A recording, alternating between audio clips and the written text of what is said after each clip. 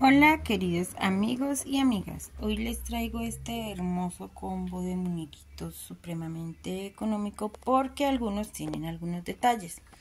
Estos tres por ejemplo son genéricos.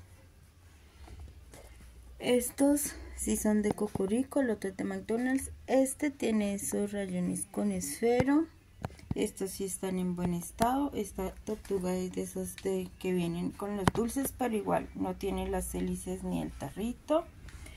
Este es un perrito de cuerda, está con esos detalles de pintura, marcador, no sé qué será.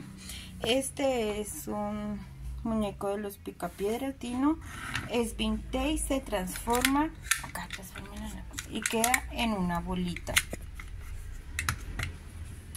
Este está en perfecto estado, está en perfecto estado.